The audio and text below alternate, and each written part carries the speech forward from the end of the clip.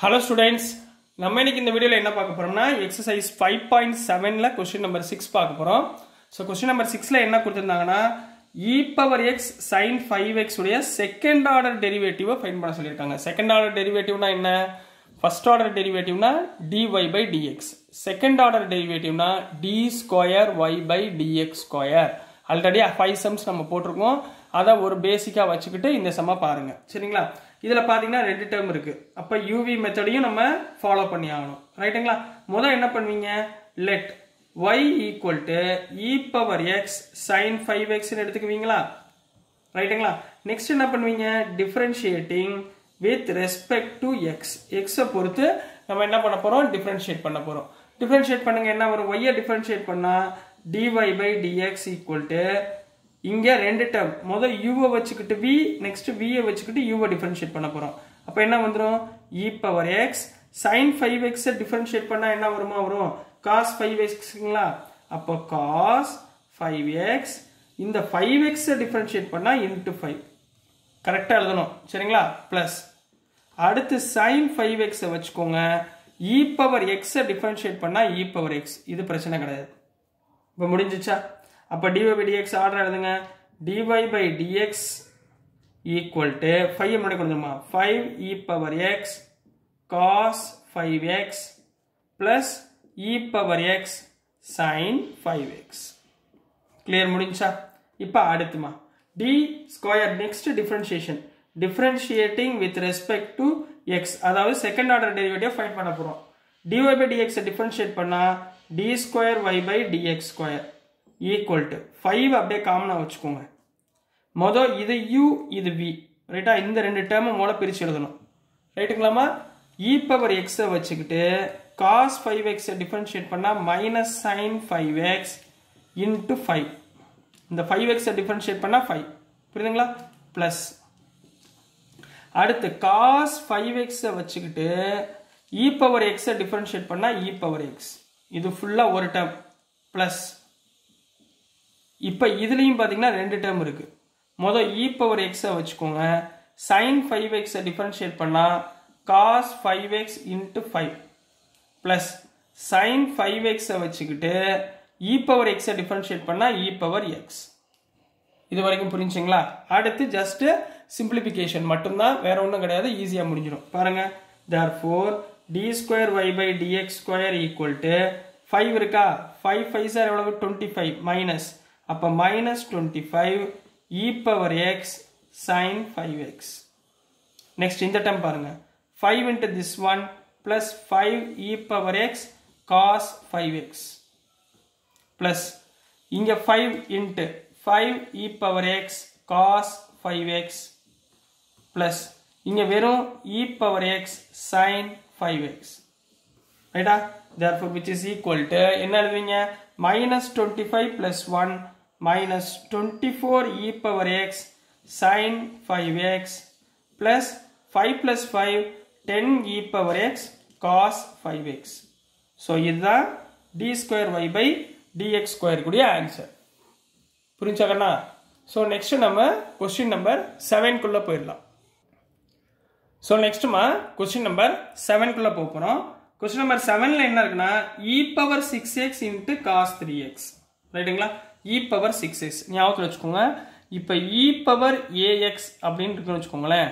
இதை டிஃப்ரென்ஷியேட் பண்ணீங்கன்னா இங்கே பாருங்கள் ஏ முன்னாடி கொண்டு வந்துடணும். இ பவர் ஏஎக்ஸை டிஃப்ரென்ஷியேட் பண்ணால் இ பவர் ஏ திருப்பி இந்த ஏஎக்ஸை டிஃப்ரென்ஷியேட் பண்ணுறப்ப இன்ட்டு ஏன்னு நம்ம போடணும். ரைட்டுங்களா?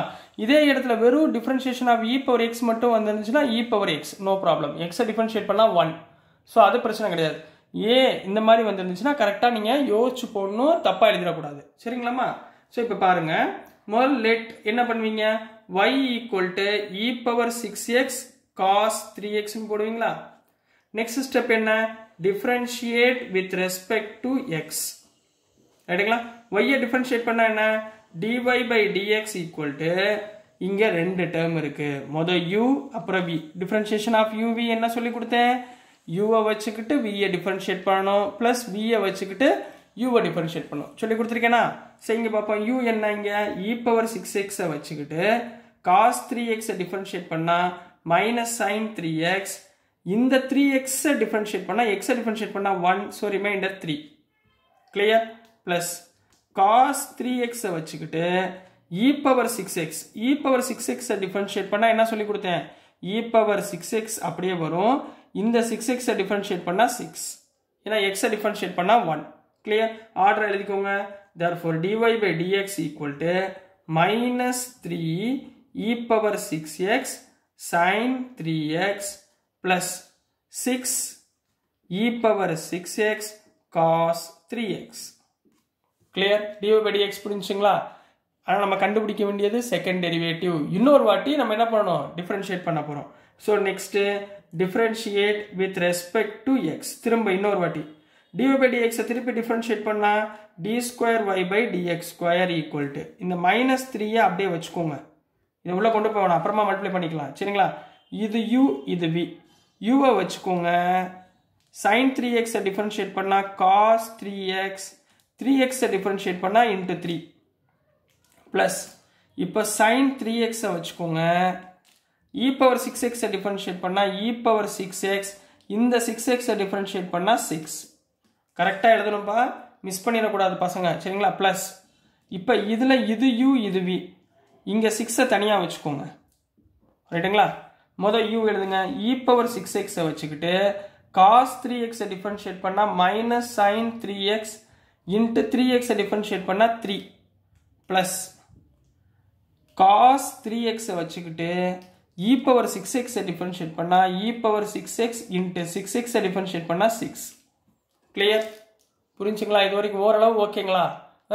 ஸோ நெக்ஸ்ட் ஸ்டெப் பாருங்கள் சிம்பிளிஃபிகேஷன் தான். Therefore d square y by dx square equal to minus three into three minus nine e power six x cos three x அடுத்துமா minus three into six minus eighteen e power six x sine three x அடுத்துக்கண்ணா சிக்ஸால் six into three minus இருக்குது minus eighteen e power six x sine three x six into six plus thirty six cos power six x three x கிளியருங்களா இப்போ சைனும் காசையும் சேர்த்து எழுதுங்க.